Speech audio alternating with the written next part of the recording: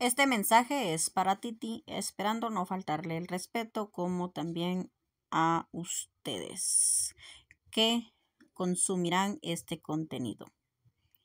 Pues para mi manera de pensar, el hombre tiene la obligación de proteger a su esposa del abuso emocional también.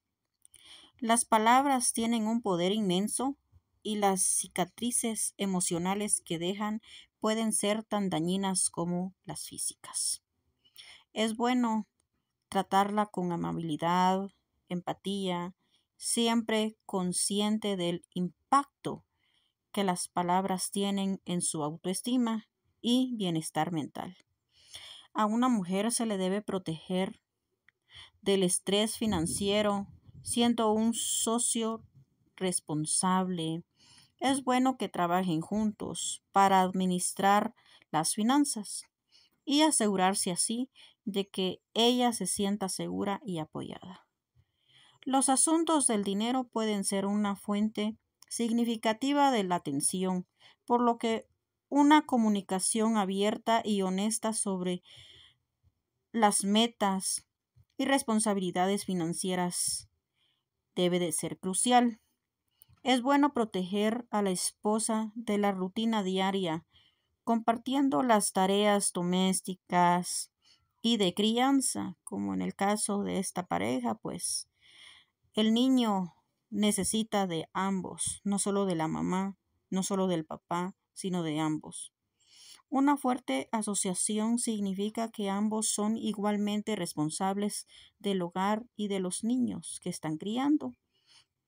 Luchar por un equilibrio que le permita perseguir los sueños propios, intereses y así como también perseguir los sueños que él tenga como esposo.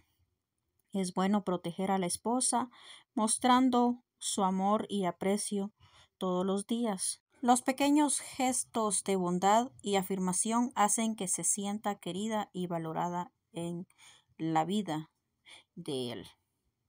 Es bueno protegerla de las presiones y expectativas sociales porque en el caso de Araceli lamentablemente son las mismas mujeres las que la califican de lo peor, se burlan de su físico, se burlan de su caminar, se burlan de todo, sin darse cuenta de que como mujeres todas somos hermosas. Es bueno también mantener sus decisiones y apoyarla en seguir sus propios caminos, incluso si difiere de las normas tradicionales.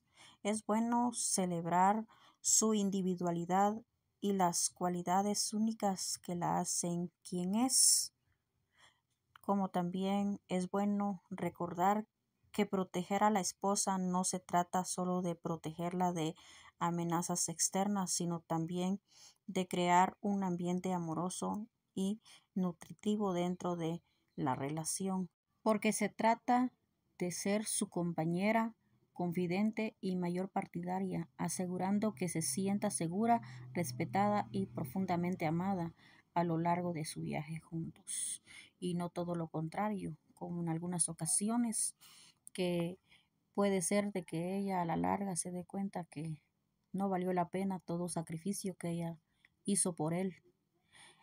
El Titi debe comprender de que él eligió para la madre de sus hijos y no se vale que hoy, que ve que su cuerpo cambió, la rechace, la ignore, le haga de menos. Ella merece amor, ella merece respeto, como lo que él como ser humano merece. Así que Dios con cada uno, nos vemos en la próxima.